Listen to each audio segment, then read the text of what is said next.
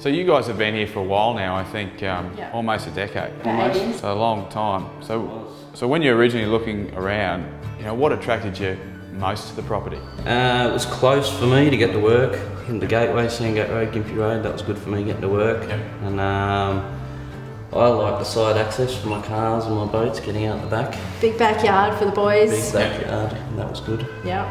And it was um, low maintenance with, with us, it was good, you know. Didn't have much to do when we came here. And what is it that you're going to miss most about living here? Big backyard. Big backyard. Upstairs, downstairs is good. I used to like getting down the back with the boys.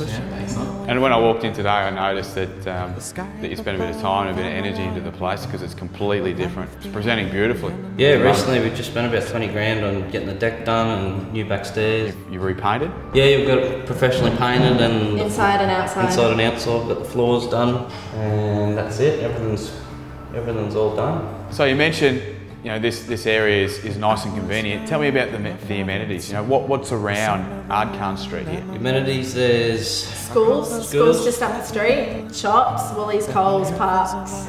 TAFE 500 metres down the road. There's the Bracken Ridge Tavern, The Phoenix. the Phoenix. Sandgate. We go to Sandgate all the time. So Do it's go like a to 10 Sandgate. minute drive. Yep. So we take the boys up there.